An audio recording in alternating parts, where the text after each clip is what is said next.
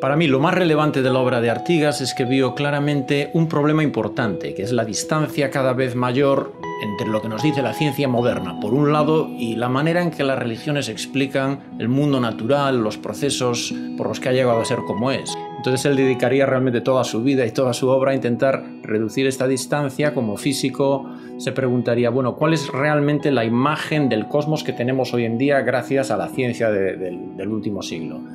Y después como filósofo diría, bueno, ¿es esto compatible con un plan divino que dé sentido al cosmos? ¿O es incompatible? Y si es compatible, ¿cómo? Es una pregunta, bueno, importante, una tarea que todavía sigue en marcha, pero creo que él ha sido muy influyente, ha sido decisivo, en, sobre todo en el mundo de habla hispana, en intentar resolver este problema y por eso creo que su influencia se dejará sentir durante muchos años. Hablaron de fundar alguna, no una institución, sino más bien un, ámbito de, de, discusión de todos aquellos problemas que pueden interpretarse como de frontera entre ciencia y fe. Después diría él mismo en uno de esos libros que en realidad problemas de frontera, estrictamente hablando, no hay. Este grupo de investigación realmente es una magnífica aventura, una apasionante aventura de investigación, porque trata de combinar todos los saberes y las metodologías de las distintas ciencias, de la filosofía, la teología, las ciencias experimentales, y ponerlas al servicio del eh, conocimiento, el avanzar en temas que eh, son realmente muchas veces, todavía en el siglo XXI, un gran misterio para el hombre. Su origen, su finalidad, su sentido, su libertad, su dignidad, sus derechos, su conciencia.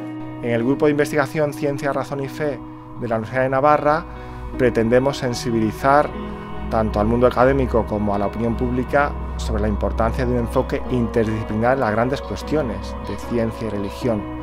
La realidad es una y la ciencia y la religión se ocupan de ella. La ciencia procura entender los aspectos básicos de esta realidad la religión procura entender el sentido último del universo en el que vivimos y por tanto están llamadas a dialogar entre ellas, a entenderse, a complementarse. En el grupo CRIF apostamos por ello.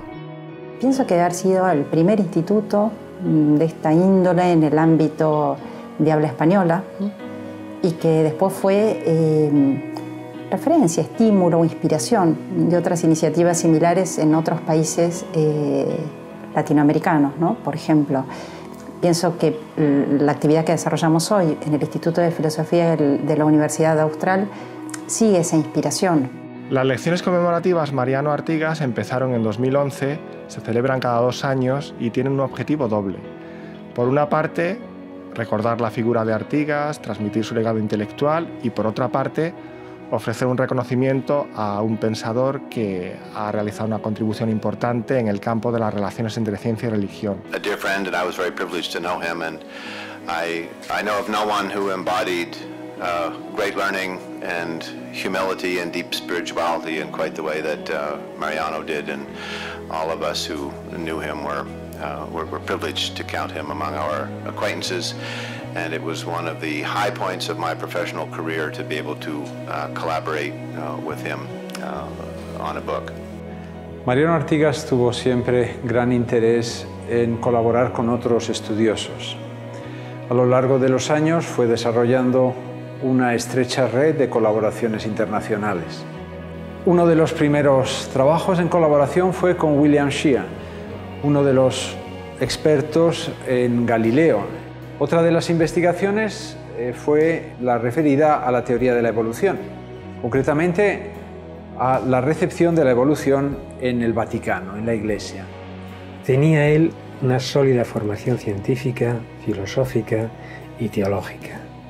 Debatíamos de las cuestiones más apremiantes, temas que luego aparecerán en sus libros posteriores.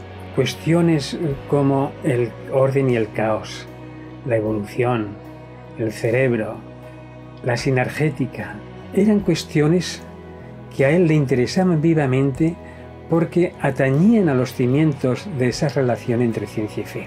Era un gran divulgador, eh, su escritura era clara, sencilla, se entendía bien y sobre todo le interesaba divulgar, le interesaba explicar. Cualquier científico que desee entrar a fondo en las relaciones entre la ciencia y la fe necesita leer los libros de don Mariano Artigas.